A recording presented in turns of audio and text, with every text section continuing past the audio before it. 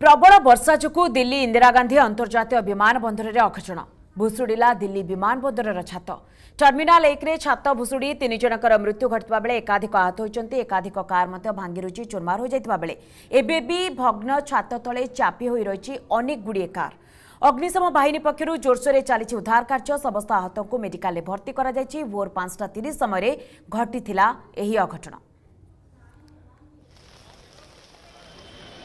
कुछ कोलेप्स हुआ है।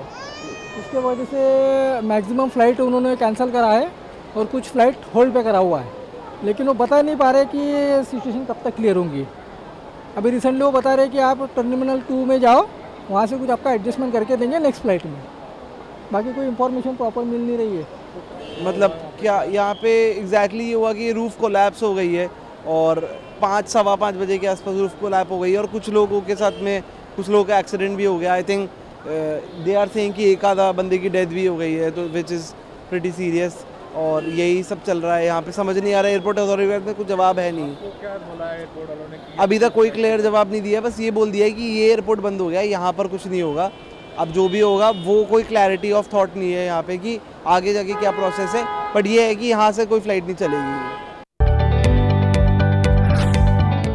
जदि आपंक आम भिडी भल लगा तेब आम चेल्क को लाइक सेयार और सब्सक्राइब करने को जमा भी भूलु नहीं।